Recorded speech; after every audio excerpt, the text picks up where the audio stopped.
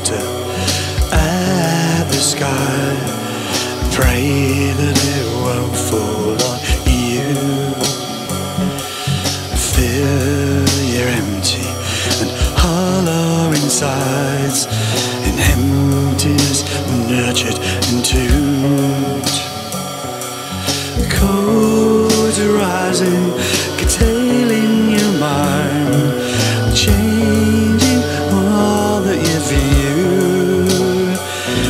It's slow caution will flood and thrive and override the world in you. There's no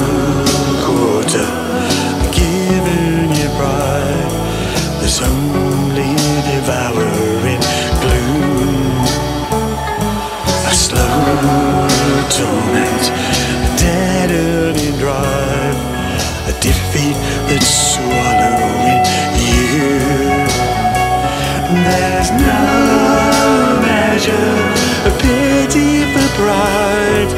You break in the dust of your ruin. You throw handfuls of water at the sky.